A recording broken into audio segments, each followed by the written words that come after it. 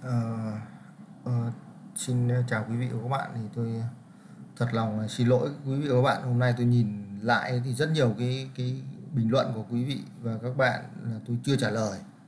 Nhiều lắm. Nhiều cả những cái mà cũ rồi là tôi chưa trả lời. Đấy, tôi bỏ sót. Tôi bỏ sót. Cái này là tôi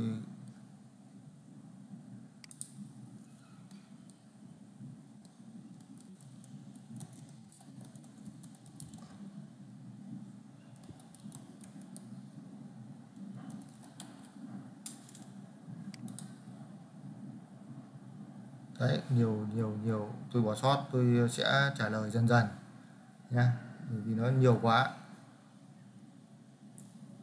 Sẽ cố gắng tôi trả lời. Hôm ờ, cái clip này thì tôi sẽ ờ, định giá cái cổ phiếu gác cho bạn Lê Thị Tuyết.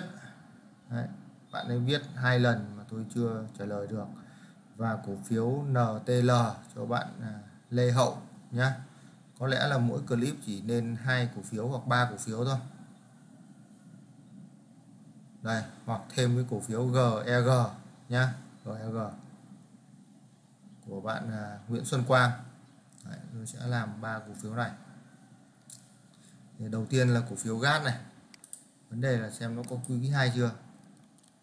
GAT có quý hai nhá. GAT à, cái số lượng cổ phiếu này 1914 nhá. 1914 89.6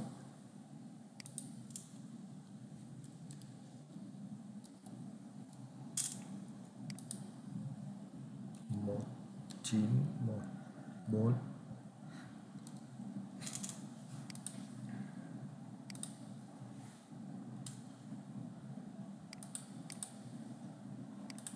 Về tình hình tài chính này, thì có các cái con số về tình hình tài chính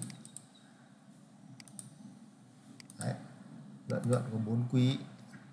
Cổ phiếu GAT này là một cổ phiếu mà nếu mà chúng ta chọn được ở cái vùng giá đẹp ấy, thì chúng ta mua đầu tư dài hạn được. Lý do là cái dư địa của con GAT này nó rất là lớn. Cho cái này về không? Tí nữa nhập lại cái giá trị của nó sau. Bỏ cái này đi. Đấy. Nếu như chọn được ở cái vùng giá đẹp của cái cổ phiếu GAT này nhá. Cổ tức này. 40% này 43% này 35% này 30% nhưng mà nó đang nó đang đi chậm xuống đấy gas này. Nó đang nó đang giảm đấy, cái tốc độ chia cổ tức và các cái thứ của nó có lẽ là đang giảm nhá. 40 này 43 này 35 và 30 40 này 43 35 và cuối cùng là 30 đấy đấy là cái cái thông số cơ bản nhất của cổ phiếu gas đấy còn ờ, nó có thiên thời hay không thì chưa biết. À, cái thương hiệu này thì đương nhiên nó là một cái thương hiệu mạnh rồi nhá. Ví dụ 50 phần trăm về thương hiệu nó có giá khoảng 47 đấy nó có những cái đợt mà nó giảm xuống cái giá trị thật này này. Đấy nó có những cái đợt mà nó giảm xuống khoảng giá 30 đấy. Những bạn nào mà mua được ở cái vùng giá đấy ấy, thì có thể đầu tư dài hạn được cái cổ phiếu gas này. Lý do cái cổ phiếu gas này, này là cái cái việc kinh doanh của nó nó cũng đơn giản, nó chỉ mua bán ờ, đấy xăng dầu các thứ thôi, đúng không? Nó nó rất là đơn giản, kinh doanh ờ, về xăng dầu. Đấy là cái mặt hàng của nó, dễ hiểu và cái mặt hàng đấy là nó có thể trường tồn mãi được, đúng không? Và nếu như nó quản lý tốt ấy là công ty nó sẽ tăng lên được, tăng, cứ, nó cứ tăng dần lên thôi. Và nếu như nó chia, đấy, và nó làm được bao nhiêu thì nó chia tiền bấy nhiêu thôi.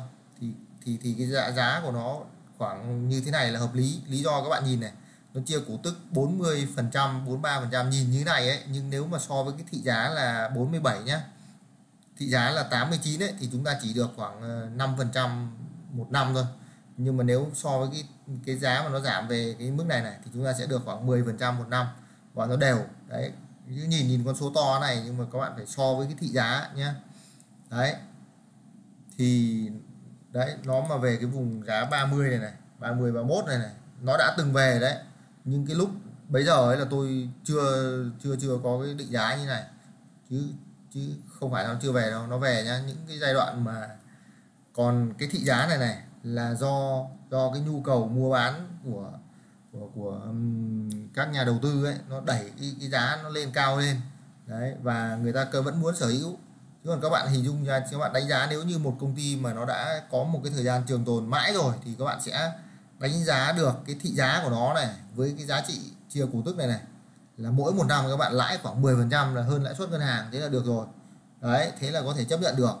Chứ còn như thế này là là là không bằng các bạn gửi ngân hàng đâu. Các bạn mua cái giá 89 nhá chẳng hạn nhé, thì như thế này là các bạn đang chỉ lãi khoảng 4 5 phần trăm 5 phần trăm thôi.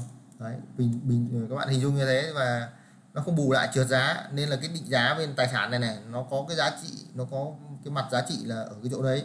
Còn cái PNE này thì nó liên quan đến cái tốc độ tăng trưởng và và nó, đấy nó liên quan đến là số người người ta muốn sở hữu nhiều ấy thì nó làm cho cái tốc độ ừ, nó làm cho cái cái ấy nó tăng lên cái mặt dạ về mặt cái thị giá nó tăng lên thì cái chỉ số PNE nó tăng lên. Các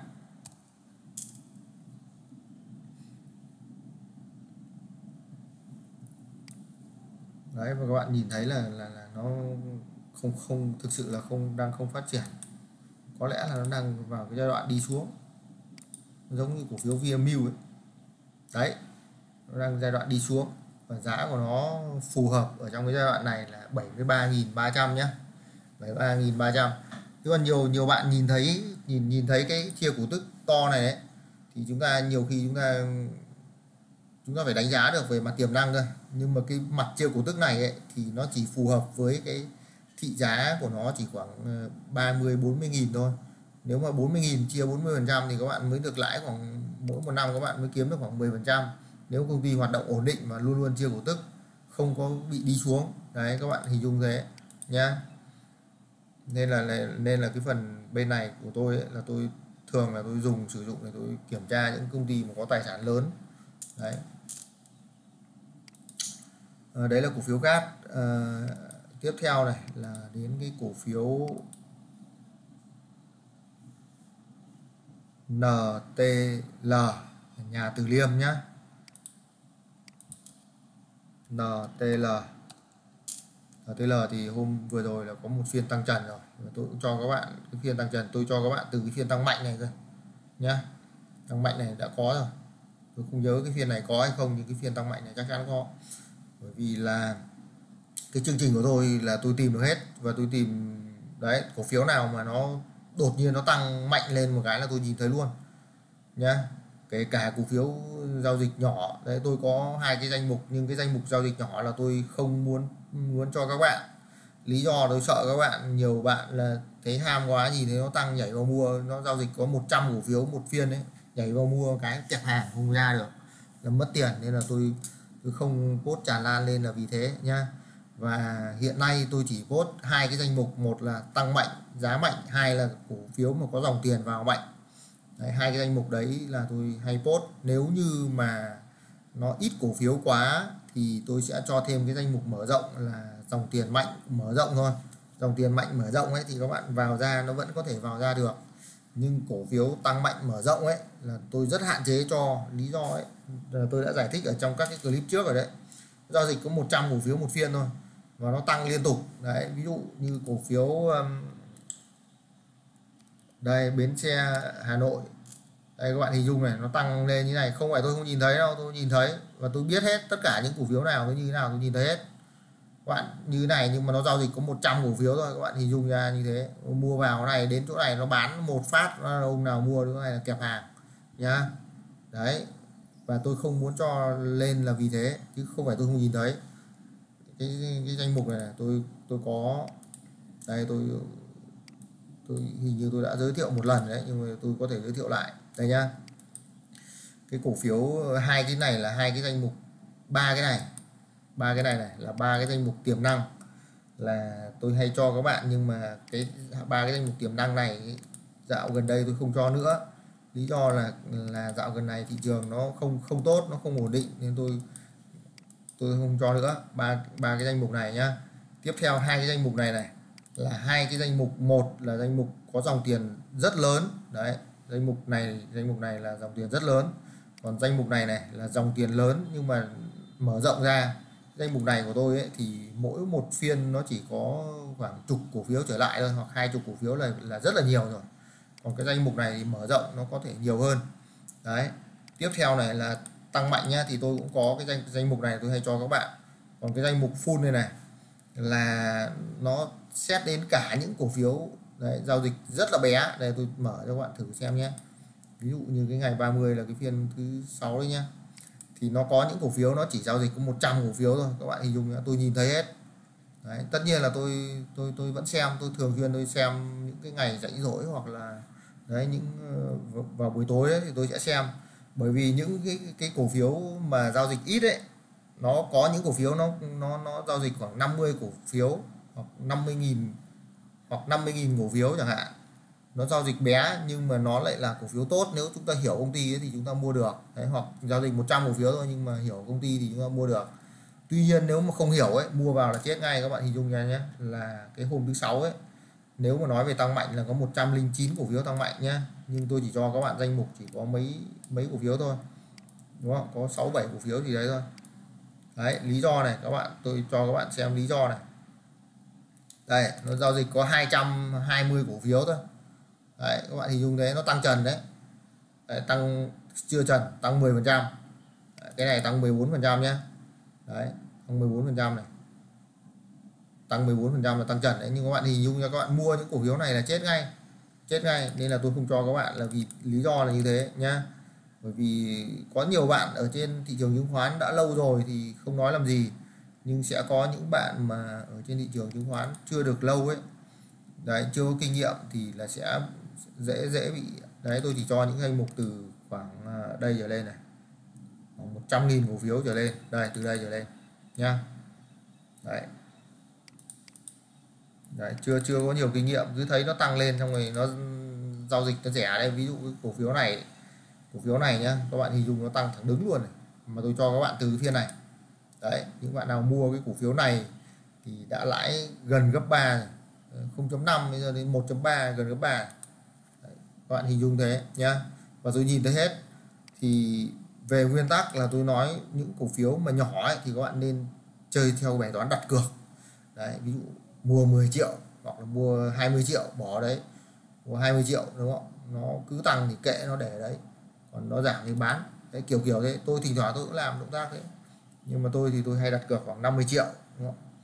đấy thì thì mình mình mình sẽ không không không lo nó không ảnh hưởng đến tài khoản của mình mình không sợ đấy. Đấy thì có nhiều lần tôi cũng ăn đúng không? Nhiều lần cũng ăn. Đấy và các bạn hình dung những cái cổ phiếu nhỏ này nó tăng rất là kinh. Đấy. Nó bé tí. Đấy và và tôi đều nhìn thấy nhá tôi đều nhìn thấy chứ không phải không nhìn thấy đâu. Đấy, đặc trưng là cái cổ, cổ, cổ phiếu ờ, uh, NHNB đấy tôi nói với các bạn tôi đã nhìn thấy nó tăng. Các bạn nhìn tôi nhìn thấy từ đây tôi tôi có mua đâu mình nhìn thấy nó giao dịch có 100 cổ phiếu nó cứ thế, nó tăng. Tăng lên, đến đây là tăng gần gấp đôi, tăng gấp đôi, gần gấp đôi. Đấy. Nhưng mà nó cứ có 100 cổ phiếu thôi, mua vào phát là sập bẫy ngay, lập tức. Nha. Đấy, nên là tôi không cho, chứ không phải là bởi vì sao? Bởi vì hôm trước có một bạn bạn nhắn cho tôi một cái cổ phiếu mà giao dịch có 100 cổ phiếu thôi ấy. Bạn ấy bảo là cổ phiếu này tăng mạnh nhưng lại không thấy ở trong cái danh sách của anh thì đấy thì tôi giải thích cho các bạn để các bạn hiểu nhá. Tôi chỉ cho các bạn cái danh sách mà các bạn có thể giao dịch được thôi. Đây những cái cổ phiếu này giao dịch có 3.000 cổ phiếu 5.000 cổ phiếu như thế này là không không bao giờ tôi cho các bạn danh sách như thế này nhá. Tôi cho các bạn danh sách từ chỗ này này. Đấy, từ 100.000 cổ phiếu trở lên thì mới được vào danh sách. Đấy, tăng mạnh nhưng nó phải 100.000 cổ phiếu trở lên. Thực ra 100.000 cổ phiếu là, là theo tôi là nó vẫn hơi ít khoảng 500.000 cổ phiếu trở lên thì chúng ta yên tâm hơn. 300.000 cổ phiếu trở lên thì yên tâm hơn nha nhưng mà vì đấy vì có nhiều bạn bạn ấy lý luận là có những cổ phiếu nó tốt ấy nó chỉ giao dịch có trăm nghìn thôi. Trăm nghìn cổ phiếu thôi. Thì ờ, nếu mà không cho các bạn thì bỏ lỡ cơ hội nên là tôi cho các bạn nha đấy đấy là cái mà tôi nói qua về cái hai cái danh mục mà tôi hay cho các bạn ở cái cuối phiên và đấy, kết thúc phiên giao dịch buổi sáng và kết thúc phiên giao dịch buổi chiều tiếp theo đến cái cổ phiếu NTL này. NTL nhá, nhà Từ Liêm ấy. NTL nhà Từ Liêm nhá. Nhà Từ Liêm đấy thì tôi đã cho từ phía trong này rồi. Tuy nhiên là là tôi cũng sai lầm, tôi cũng không mua cái nhà Từ Liêm. Nhưng không sao, đúng không? Chúng ta rất nhiều cơ hội, không lo cái việc sai lầm. 61 triệu cổ phiếu nhá. Và giá đang 29.100 61 triệu và giá đang là 29.100 mã nhà Từ Liêm.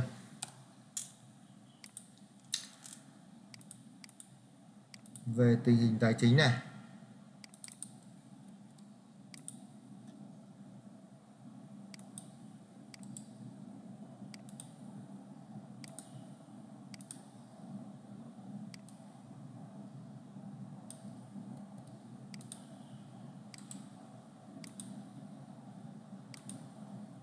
Đấy công ty này tôi sai lầm là tôi không mua đấy.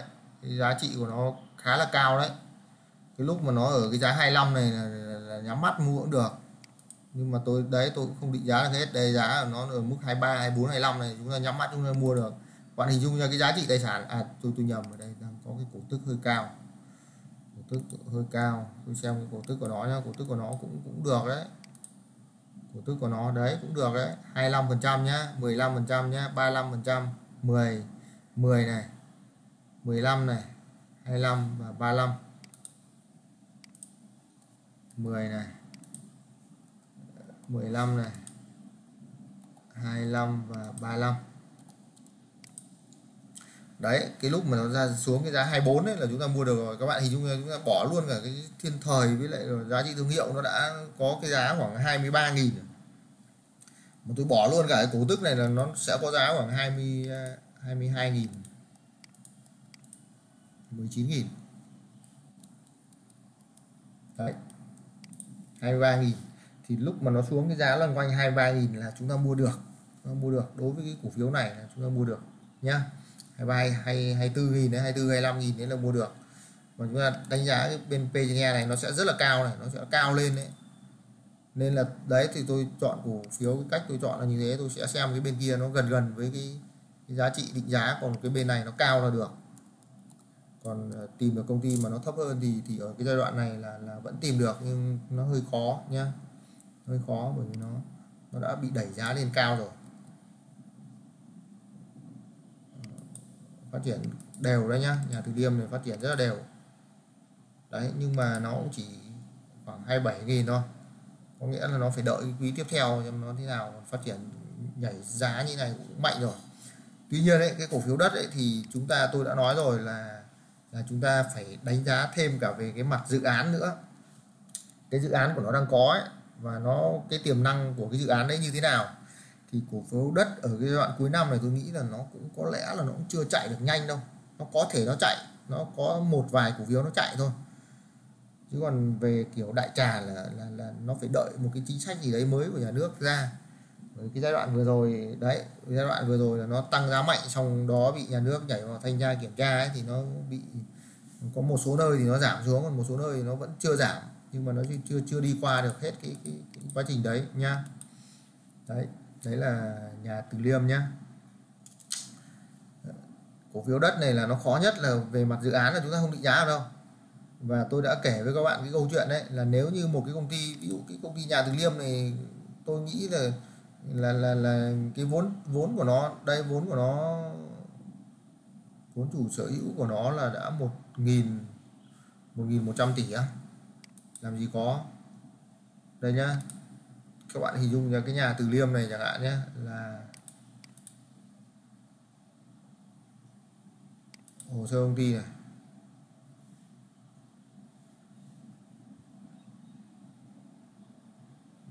Vốn điều lệ của nó này, là cũng 600 tỷ đấy, là cũng nhiều đấy, không có ít đâu nha. 600 tỷ. Đấy, cái vốn điều lệ của nó là 600 tỷ. Đấy, thì tôi đã nói kể với bạn câu chuyện đấy. Có rất nhiều công ty vốn điều lệ của nó đơn giản như còn CSC này. Vốn điều lệ của nó có 200 tỷ mấy. 200 tỷ. Đây này 200 tỷ nhưng hiện tại là nó đang vì sao cái giá của nó đẩy lên cái giá 72 này là tất nhiên là bây giờ vào cái giai đoạn này là là, là nguy hiểm rồi. Đấy vì là chúng ta phải đánh giá được cái dự án của nó ấy, là nó đang có cái dự án uh, là Eco Garden ở Huế. Cái dự án đấy của nó là trị giá 4.000 tỷ nên là giá nó lên như này. Tôi nói luôn các bạn thế và tôi tôi cũng sai lầm tôi bán sớm còn CSC CSC tôi biết và tôi đã mua tôi đã mua 50 30 nghìn ở cái giá 20 nhưng mà nó lên 28 tôi bán luôn. Rất là phí, còn để nó lên đến đây thì thì thì lại giàu to rồi. Nhá, nhưng mà khi mà nó lên 30 đấy là tôi cũng định vào lại đấy, nhưng mà tôi tôi vào lại nhưng nó cứ dập dình mãi không thấy lên, nên là tôi lại bán. Tôi vào lại rồi, tôi vào lại ở giá 31 gì đấy rồi đấy, nó dập dình, nó lên trong nó xuống lòng hoàng quá, tôi bán. Nhá CSC này là tôi đầu tư của nó rất là nhiều rất là nhiều giai đoạn. Đấy, và tôi biết là vì nó tăng mạnh như này là vì nó có cái dự án Eco Garden Huế nhá. Đấy, cái dự án đấy trị giá khoảng 4.000 tỷ. Thì các bạn hình dung ra cái vốn chủ sở hữu của nó đấy cái cái ờ, cái cái vốn điều lệ của nó có 200 tỷ thôi.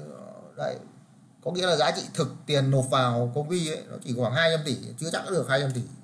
Tôi khẳng định luôn chưa chắc được 200 tỷ nhưng nó nó nó nó tăng vì sao? Vì nó có cái dự án 4.000 tỷ 4.000 tỷ kia mà nó lãi cỡ khoảng ờ, 30 phần trăm thì nó đã được một cứ cho 1.000 tỷ nó lãi khoảng 1.500 tỷ. 1.500 tỷ thì các bạn hình dung ra cái giá này cái thị giá của nó cũng các bạn hình dung ra là nó mới 1.600 tỷ đấy thì nó đang đang đưa về cái, cái giá trị thật của công ty là giá trị của công ty khoảng 1.600 tỷ rồi nhá. Và bây giờ mua là rủi ro này. Nhưng, nhưng bạn nào đấy định giá được đánh giá được ngay cái chất lượng. Có nghĩa là sao? Ví dụ như tôi chạy qua chương trình này của tôi. Đấy, tôi thấy được giá của nó ví dụ như khoảng 20 chẳng hạn nhé giá nó khoảng 20 chẳng hạn. Đấy tôi sẽ cộng thêm với cái phần mà tôi vừa định giá đấy 1.500 tỷ đấy thì cộng thêm với cái thị giá là tôi trừ đi thị giá 20 thì tôi sẽ ra được một con số tôi lấy con số đấy tôi chia cho số cổ phiếu thì tôi sẽ ra được là cái giá trị tăng thêm của cổ phiếu nó sẽ là giá bao nhiêu nhá. Bây giờ nó đã 1.600 tỷ rồi. Đấy, có thể nó lên đến khoảng 2.000 tỷ nữa là căng. Nhưng mà nhưng mà đoạn này là rất rủi ro rồi nhá. Đấy đấy tôi nói với các bạn thế. Nên là vì sao là vì sao mà tôi sử dụng cái này tôi có thể định giá được cái tài sản đất là như thế. Đấy, tôi nhập được ngay. Ví dụ tôi tôi sẽ mở cái hồ sơ của thằng nhà từ liêm ra tôi đọc nhá. Tôi không quan tâm đến cái cái, cái giá trị 27.000 đây mà mà cái giá trị cơ sở này của nó đang rất cao này. 23.000 của nó là, là là đang là một con số rất là cao. Có nghĩa là nó có những cái tài sản là đang cao rồi. Bây giờ chúng ta chỉ quan tâm đến cái dự án của nó là bao nhiêu nghìn tỷ. Thế với cái thị giá này này thì các bạn đã nhìn thấy được cái ờ, cái cái giá trị vốn của nó. Ví dụ nhà từ liêm nhá. Nhà từ nhà từ liêm đấy, với cái giá trị đấy là nó là đang 1.700 tỷ đúng không? Bây giờ mà ví dụ nó đang có một cái dự án triển khai khoảng 6.000 tỷ chẳng hạn, thì các bạn cứ cộng vào đây khoảng ờ, thêm 2.000 tỷ vào đây nữa là thành ờ, 3.700 tỷ. Đấy, các bạn lấy 4.000 tỷ các bạn chia cho giá 61 triệu cổ phiếu, đúng không? Đấy, thì nó sẽ có giá lên khoảng 80 mấy luôn đấy, ví dụ thế, nhẩm qua cái là giá của nó lên khoảng 8 80 mấy nghìn một cổ phiếu ngay lập tức, nhá. Đấy đấy đấy là cái cách cách cách làm và tôi cũng hướng dẫn luôn cho các bạn để các bạn hiểu được là à tại sao tôi có thể dùng được một cái định giá này mà tôi có thể sử dụng cho tất cả các cái cổ phiếu và tôi có cách tham khảo nên là nên là tôi có thể đánh giá được rất là nhanh tất cả các cổ phiếu nha và cái quan trọng nhất ấy là chúng ta đưa được ra cái giá trị nhanh để chúng ta uh, có thể quyết định mua bán được ngay. Đấy nhá. Còn để quyết định mua hay bán thì tôi vẫn khẳng định luôn là cái việc định giá này chỉ tham khảo thôi. Còn chúng ta phải đọc thêm các cái thông tin khác đọc thêm các cái thông tin khác thông tin về chính sách của nhà nước rồi thông tin về chính sách của công ty các bạn hình dung nha, công ty đang phát triển rất là tốt. Nhà nước nó chỉ ra một cái tờ văn bản ờ, thôi cái là công ty đấy xịt luôn, lập tức khẳng định luôn. Một tờ A4 ra văn bản vì về cái gì đấy bạn xịt luôn. Nha đang, giá cổ phiếu đang tăng ầm ầm này, hôm sau lao dốc. Đấy, nên nên là sao, tất cả các cái thông tin nó chỉ mang tính chất tham khảo là vì thế, nhá. Chắc chắn chắc chắn rồi, nếu như bạn nào đã ở trên thị trường chứng khoán nhiều năm thì chắc chắn sẽ hiểu cái điều mà tôi vừa nói, nhá. Nên chúng ta tất cả mọi thứ đều tham khảo thôi. Và chúc quý vị đầu tư thành công kiếm được nhiều lợi nhuận. Và đấy cũng là cái cái thứ mà tôi tôi nói thật là là tôi rất rất mong các vị là kiếm được nhiều tiền. Thế thôi nha các vị cứ kiếm được nhiều tiền nhất là kiếm được nhiều tiền của cái cái, cái đội nước ngoài ấy. Bộ nước ngoài nó vào nó lái nó nó nhảy vào Việt Nam là nó xúc tiền của Việt Nam. Bây giờ anh em làm sao đoàn kết lại mà xúc được tiền của nó là ngon. Nhá đấy đấy thôi. À, chào các bạn hẹn gặp lại các bạn ở các clip sau.